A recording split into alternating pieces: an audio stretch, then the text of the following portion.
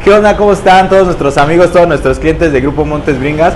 En esta ocasión les vamos a enseñar eh, un caso especial con la transmisión. No siempre se dañan por desgaste, no siempre el uso las daña.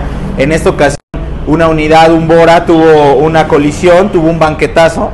eh, y básicamente la transmisión se dañó por el golpe. Ahorita les vamos a enseñar unas imágenes de cómo está dañado el cascarón de la transmisión. Tiene un hoyo. El cuerpo de válvulas, así a simple vista no se ve que está dañado, pero está totalmente chueco, doblado. La válvula manual de hecho está totalmente atorada. Ahorita les vamos a acercar la imagen para que la vean. Y la bomba de la transmisión se marcó del buje, donde trabaja el buje. Y el cárter de la transmisión, que es muy común en las nuevos, no, 09G, perdón, que se dañen, está también totalmente roto, totalmente destruido. Ya le estamos nosotros trabajando, ya le estamos poniendo las piezas en buen estado, porque no fue necesario cambiarla internamente debido a que el coche estaba trabajando bien. O sea, discos, tambores, pastas, todo eso se va a volver a reutilizar. Eh, y estas son las únicas piezas que vamos a cambiar y la turbina también.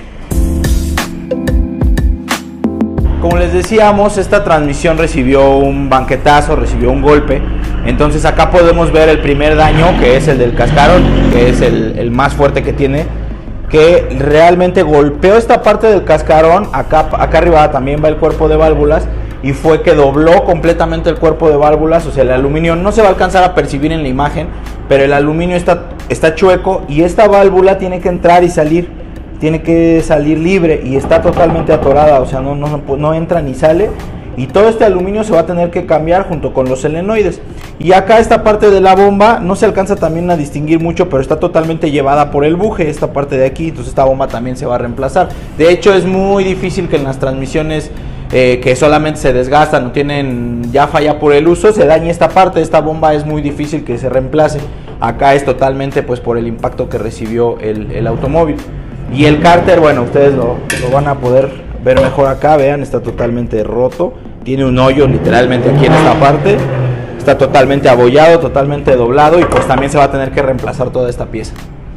Y bueno, más que nada este video se los hacemos para que ustedes vean que si su transmisión no tiene ningún problema en funcionamiento y ustedes tienen algún percance con, con un banquetazo, con un bache, el que la transmisión sufre esas averías, no es necesario que se repare completamente la transmisión. Se pueden reusar, reusar las partes internas y solo vamos a cambiar lo que esté roto o averiado.